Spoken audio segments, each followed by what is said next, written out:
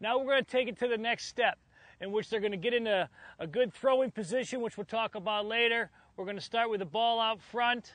We're going to make that transfer like we worked on before. We're going to get our right foot uh, moving forward. We call a little jab step with our right heel. We're going to get that thing out. We'll be in power position, and then we're going to throw the baseball. We're going to put all those things together right now um, as we throw. Okay, take your time. Get set.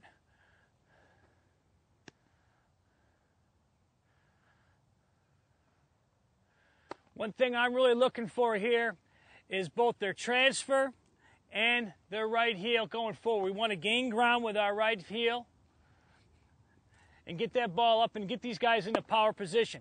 Everything is about balance and footwork. Are they, are they get, having the proper footwork?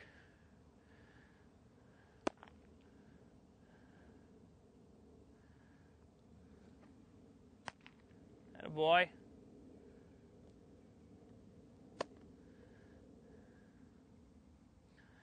Now you can do this at different uh, lengths. Also, all depends on uh, what level you're at, your catcher's arms. Um, these guys will do this as long as they feel that their arm is getting in shape and they're just working their footwork and their transfer.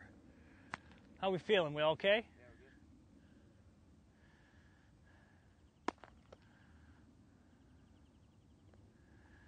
The ball out of your mitt. Get your feet moving.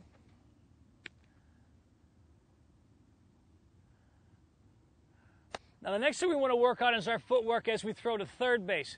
But this is summarizing to go back on what we did before. When we're going to second base, we're going to catch that ball and we're going to have our right heel go through that ball in this manner here, this little jab step, as we're getting that thing out, and we're going to get into power position.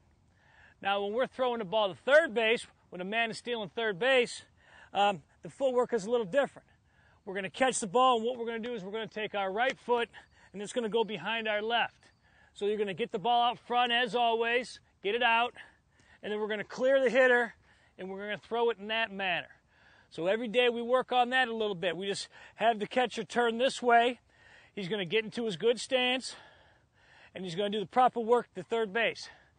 At third base, we really work on throwing down to the bag. We don't want the ball to sail. Clear with that back foot.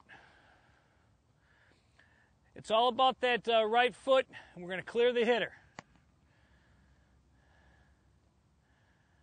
Throwing down to the bag, Jared. Throwing down to the bag.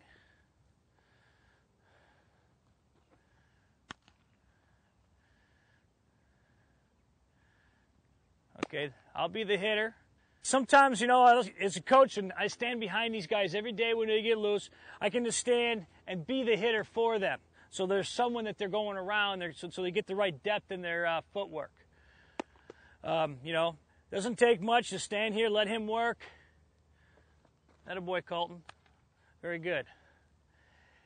Again, this is something you do every day. You don't just come out and play catch every day before practice. Our catchers come out and they work their footwork, their hands, uh, making the throws that they're going to have to make in a game.